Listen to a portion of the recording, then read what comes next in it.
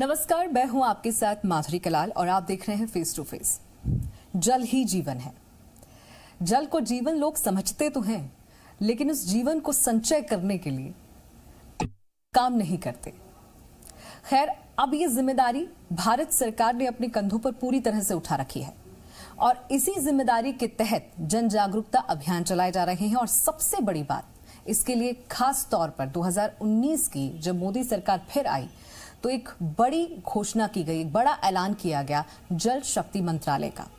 और वो मंत्रालय जो अभी तक कई अलग अलग भागों में जल के लिए, पानी को संचय करने के लिए, नदियों को जोड़ने के लिए काम कर रहा था, अब एक साथ मिलकर, चाहे वो नदियों को जोड़ने की बात हो या फिर नदियों को साफ़ करने की बात हो या हर घर में पानी को पहुँचाने की बात हो, वो उन सब चीज़ों पर एक साथ काम कर रहा है।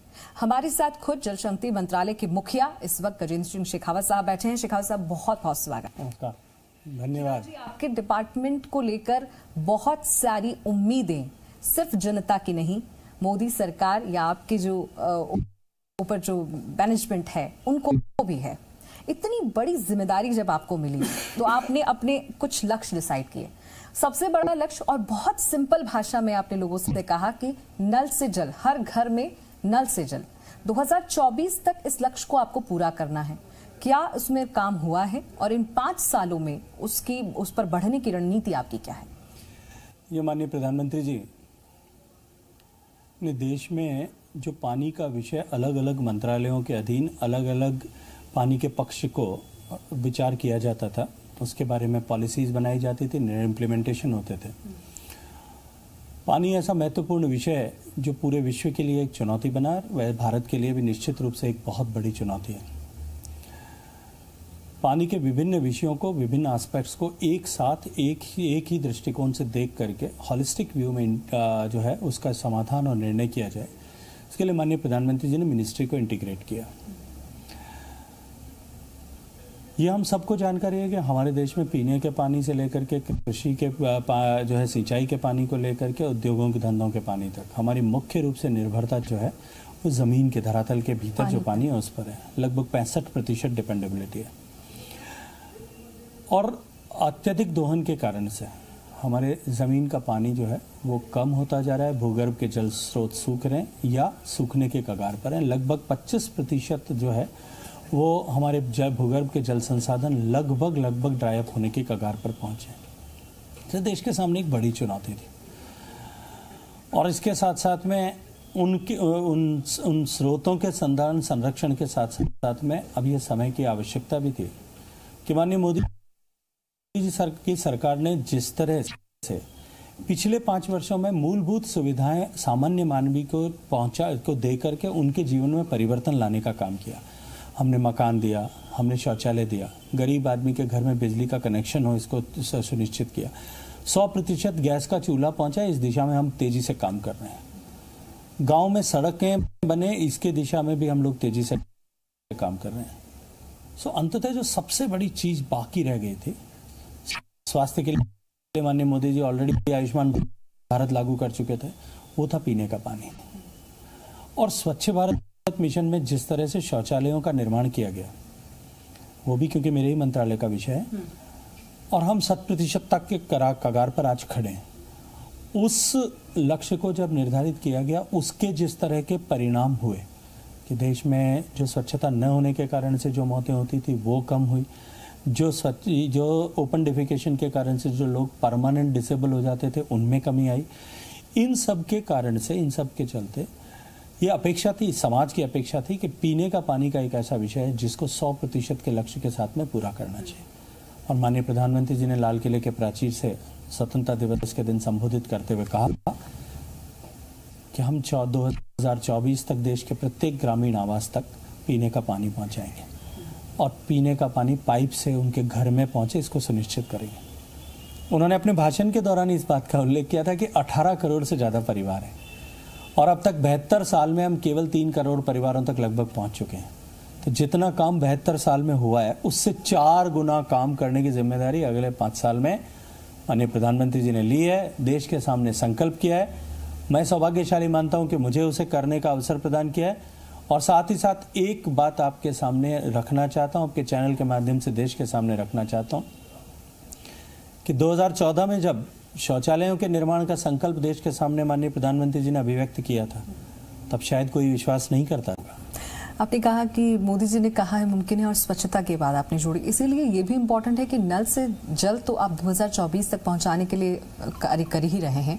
लेकिन इस कार्य के साथ साथ 2014 की जब सरकार आई, तब भी ये था कि नदियों की सफ़ाई बहुत ज़रूरी जो पानी है, उसे भी साफ़ करके रखा जाए। चाहे वो फिर नमामि गंगे से लगाकर अब नर्मदा पर काम हो रहा हो, उस पर आप कैसे बढ़ रहे हैं? और उसमें इन पाँच सालों में कितनी सफलता पाई और आगे क्या? देखिए नदियाँ हमारे पानी की सबसे बड़ी वाहक हैं।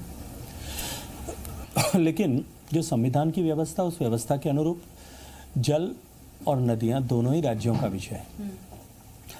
गंगा हम सब लोगों के लिए आस्था का विषय भी है और भारत के लिए अत्यंत महत्वपूर्ण भी है। महत्वपूर्ण इस परिप्रेक्ष्य में है कि भारत के लगभग, जब मैं गंगा की बात करता हूँ तो केवल गंगा नदी गंगा बेसिन, जिसमें गंगा के सारी सहायक नदियाँ भी शामिल है, यमुना भी शामिल है, उसके सारे जो हैं, उनकी सारी सहायक नदियाँ भी शामिल है। तो गंगा बेसिन जो है, वो ऑलमोस्ट देश के 45 प्रतिशत से ज़्यादा जनसंख्या को और भूभाग को वो जो है आप्लावित करती हैं। गंगा प्रमुखता से साफ़ हो, ये आदेश की आवश्यकता थी। अनेक वर्षों से इस दिशा में प्रयास किए जा रहे थे। उन्नीस में सबसे पहले नेशनल गंगा मिशन वन बना फिर गंगा मिशन टू बना। चार हज़ार करोड़ रुपया लगभग पिछले पंद्रह साल में जब माननीय मोदी जी की सरकार बनी उस बीस साल के जो पिचासी से लेकर के और लगभग उस तीस साल के कालखंड में खर्च भी हुआ लेकिन उसका कोई इम्पैक्ट दिखाई नहीं दिया। माननीय प्रधानमंत्री जी ने इस संकल्प के साथ में कि एक तो गंगा को जब हम बात करेंगे पूरा गंगा बेसिन की बात करेंगे। और गंगा की निर्मलता की बात करेंगे तो अविरलता को भी सुनिश्चित करेंगे कि उसमें जल भी रहे। इन दोनों विषयों पर हमने साथ काम करना शुरू किया। ई फ्लो नोटिफिकेशन के माध्यम ने हमने सारे इंफ्रास्ट्रक्चर जितने भी गंगा नदी पर बनने हुए उन सब के लिए ये बाध्यता के जो है सुनिश्चित की कि वो जो है एक सर्टन अमाउंट ऑफ़ पानी लीन पीरियड में और मानसून पीरियड में उस फिक्स्ड अमाउंट ऑफ़ पानी निश्चित रूप से छोड़ें, जिसको हम हर प्रतिदिन के आधार पर मॉनिटर करते हैं, ताकि गंगा की सततता बनी रहे, प्रवाह बना रहे। जहाँ तक निर्मलता का प्रश्न है जो पिचासी से लेकर के 2014 तक 2015 तक उस 30 साल के कालखंड में जो कुछ भी इन्वेस्टमेंट भारत सरकार ने या राज्यों ने किया, वो क्यों नहीं बन पाया? क्योंकि सरकार ने इन्वेस्टमेंट करके इंफ्रास्ट्रक्चर का यदि क्रिएट भी कर दिया तो स्थानीय निकाय या राज्य सरकारों ने उसके लिए ऑपरेशन एंड मेंटेनेंस का खर्चा जो है अपने बजट में एलोकेशन नहीं किया, वो सारे व्यवस्थाएँ बंद हो गई। माननीय प्रधानमंत्री जी ने एक मिशन मोड में इसको करना निश्चित किया। और गंगा की निर्मलता के लिए हमने उस मिशन मोड में जो लक्ष्य लेकर के काम करना प्रारंभ किया दो सौ अट्ठानवे से ज़्यादा परियोजनाएँ हमने स्वीकृत की। उसमें से सौ से ज़्यादा परियोजनाएँ हमने कंप्लीट कर ली है। करना होता है। हम्म। बाकी तेज गति से राज्यों के माध्यम से काम हो रहा है क्योंकि राज्यों के माध्यम से इम्प्लीमेंटेशन हमको करना होता है। पर मैं आपको एक बात विश्वास के साथ में कह सकता हूँ कि गंगोत्री से लेकर के और ऋषिकेश तक आने वाले कुंभ से पहले हम इस बात को सुनिश्चित कर देंगे कि गंगा में एक बूंद भी अनट्रीटेड अर्बन सुवेज न जाए और एक बूंद भी जो है वो इंडस्ट्रियल एफ्लुएंट न जाए। उससे आगे भी हम तेज़ी से काम करें। यदि मैं वाराणसी के परिप्रेक्ष्य में बात करूँ तो 29 ड्रेन्स जो वाराणसी शहर में मिलते थे आज हमने ऐसे 26 ड्रेन्स को टैप करके और उनका शोधन का व्यवस्था सुनिश्चित कर दी। बाकी तीन पर भी इस साल के अंत तक हम जो है सक्सेसफुली कर पाएँगे। कानपुर में हम तेज़ी से काम कर रहे हैं। पर मैं आपके माध्यम से पाठकों को आपके दर्श, दर्शकों को एक चीज़ अवश्य बताना चाहूँगा। देखिए मुझे प्रश्न किया जाता है बार बार और मेरे पूर्ववर्ती मंत्रियों को भी किया गया होगा कि कब तक गंगा साफ़ हो जाएगी। देखिए ये ये प्रश्न जो है ये उचित नहीं है क्योंकि गंगा जब हम नहीं थे तब भी थी गंगा जब हम नहीं रहेंगे तब भी रहेगी ये हमेशा बनी रहने वाली है और हम सब दिल से चाहते हैं कि गंगा जो है वो आ, हमेशा हमेशा बनी रहे और इस देश की इस जनसंख्या को इस देश के भूभाग को इसी तरह अपलावित करती रहे। क्योंकि गंगा की निर्मलता शुद्धता अविरलता का प्रश्न हमेशा रहेगा और हमेशा ही ये प्रासंगिकता बनी रहेगी। लेकिन हम गंगा में पोल्यूशन के लोड को जो हम गंगा में प्रभावित करते हैं उसको रोकने में कामयाबी प्राप्त करें। हम तेज़ी से इसके लिए काम कर रहे हैं। लगभग तीस हज़ार करोड़ रुपए के हम प्रोजेक्ट्स ऑलरेडी सैंक्शन कर चुके हैं और आने वाले समय में और प्रोजेक्ट सैंक्शन करके इसको आने वाले दो सालों में आप है देश का प्रत्येक व्यक्ति इस प्रभ, इसमें प्रभावी परिवर्तन देख सके इसको सुनिश्चित कर रहे हैं एक बहुत बड़ा सपना अटल जी का था नदियों को जोड़ने का। और तब तत्कालीन सुरेश प्रभु जी मंत्री हुआ करते थे तो लोग मज़ाक में कहा करते थे कि जो काम प्रभु का है वो सुरेश प्रभु जी कैसे कर देंगे। तब भी वाद विवाद हुए इस पर। तब से लेकर चर्चाएँ चल रही हैं और अब आपके डिपार्टमेंट पे पूरी ज़िम्मेदारी है। नदियों को जोड़ने का बहुत बड़ा प्रोजेक्ट जो अटल जी ने सपना देखा था उसके लिए आपकी सरकार कितना बढ़ पाई है? ये समय की मांग भी है और आवश्यकता भी है। देश के एक तिहाई हिस्से में हर साल बाढ़ आती है एक तिहाई हिस्से में हर साल सूखा पड़ता है। और भारत की नदियों की विशेषता यह है कि सिर्फ़ एक एक ही जो ट्रांसमेलन रीजन की नदियाँ हैं इनको छोड़ करके बाकी की सब नदियों में मानसून के समय ही पानी आता है बरसात से पानी आता है। इसलिए हमारे नदियों में एक मानसून के समय में तेज से प्रवाह आता है फिर वो समुद्र में चला जाता है। देश के एक तिहाई हिस्से में हर साल सूखा पड़ता है एक तिहाई हिस्से में हर साल बाढ़ आती है। आज भी जो है बिहार के बहुत सारे हिस्से बाढ़ में डूबे हैं। हम सब की संवेदनाएँ बिहार और बिहार की जनता के साथ में है। देश के बहुत बड़े हिस्से में इस बार इस तरह से जल प्लावन की स्थिति हुई है। वर्षातिरेक की स्थिति हुई है। और इसमें बहुत हद तक जो है, वो क्लाइमेट चेंज के जो विजिबल इम्पैक्ट्स हैं, वो भी उसके उसके लिए जो है कारक हैं। स्कैंटी रेटिक रेनफॉल्स हो रहे हैं, ये निश्चित रूप से बड़ी चुनौती है। लेकिन ये समय की आवश्यकता है कि इस तरह के लिंक्स बनाए जाएँ। देश की सरकार ने सुरेश प्रभु जी के समय से जो काम प्रारंभ हुआ था उसको जो बीच में होल्ड कर दिया गया उसके बाद में वापस तीस ऐसे लिंक आइडेंटिफाई किए हैं। उन लिंक्स में से अल्टीमेटली क्योंकि ये राज्यों का विषय है नदियाँ राज्य का विषय है इसलिए उन सबको एक साथ स्वस्थ मानसिकता से पॉजिटिव एटीट्यूड के साथ में साथ आना पड़ेगा। लेकिन फिर भी हमने जो लिंक आइडेंटिफाई किए उसमें से पाँच लिंक ऐसे हैं जिनमें लगभग लगभग डीपीआर भी कंप्लीट हो गया है उसकी स्टेचुरी कंप्लाइंसेस भी जो है वो पूरी होने के कगार पर है। और अब हम उस दिशा में काम शीघ्र प्रारंभ कर सकें, ऐसी स्थिति तक लगभग हम पहुँचे।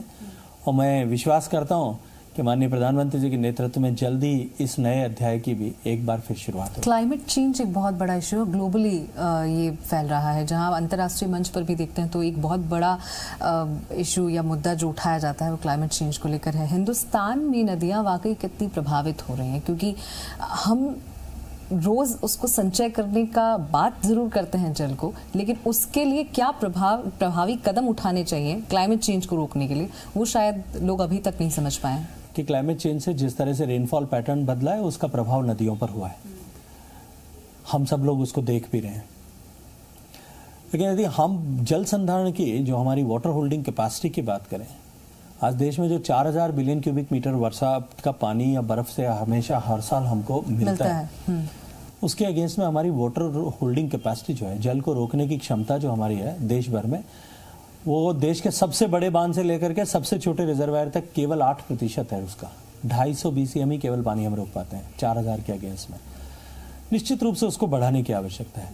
हालाँकि जितना पानी हम ज़मीन के ऊपर रोकते हैं, ज़मीन की सतह पर रोकते हैं, उससे कहीं ज़्यादा पानी हम धरातल में जो है ज़मीन के अंदर रोक पाते हैं। आज जो वर्तमान में स्थिति है, उस स्थिति में हमारे सामने एक एक एक एक बड़ी अपॉर्चुनिटी है कि हम देश में भूगर्भ के जल का ज़्यादा से ज़्यादा वहाँ जो है उसका उसमें कैसे होल्ड कर पाए हम्म। उसको कैसे रोक पाए। माननीय प्रधानमंत्री जी ने जब दूसरी बार सरकार बनने के बाद में 30 जून को पहली बार मन की बात में विस्तार से इसके बाद में बातचीत की निश्चित रूप से उसका प्रभाव देश भर में हुआ। फिर उन्होंने देश के सारे चुने हुए सरपंचों को पत्र लिखा अपने से ढाई लाख लोगों को बारह लैंग्वेजेस में पत्र लिखा गया। और उस पत्र के माध्यम से उन्होंने उनसे कहा अपेक्षा की कि एक ग्राम सभा हर एक गाँव में मानसून से पहले, केवल जल के विषय को लेकर के हो कि हम गाँव में कैसे घर का पानी घर में, खेत का पानी खेत में और गाँव का पानी गाँव में रोक सकते हैं। कैसे हम ज़मीन में पानी ज़्यादा से ज़्यादा रुके, इसका आयोजना कर सकते हैं, उसकी प्लानिंग कर सकते हैं। देश में डेढ़ लाख से ज़्यादा ग्राम पंचायतों में इस तरह की मीटिंग्स हुई। और ये जो अवेयरनेस बनी, इसके बाद में जल शक्ति अभियान के माध्यम से देश की सरकार में काम करने वाले ऐसे जो, जो है joint secretary and above level के ऑफिसर्स ऐसे वरिष्ठ अधिकारी उनके अतिरिक्त जो है वो सी में काम करने वाले हमारे इंजीनियर्स हमारे सेंट्रल ग्राउंड वाटर बोर्ड के हाइड्रोजियोलॉजिस्ट ऐसे वरिष्ठ अधिकारियों की टीम्स बना करके हमने जो 1500 ड्राइड अप ब्लॉक जो जो क्रिटिकली एक्सप्लॉयटेड या ओवर एक्सप्लॉइटेड ब्लॉक्स हैं उनमें भेजा।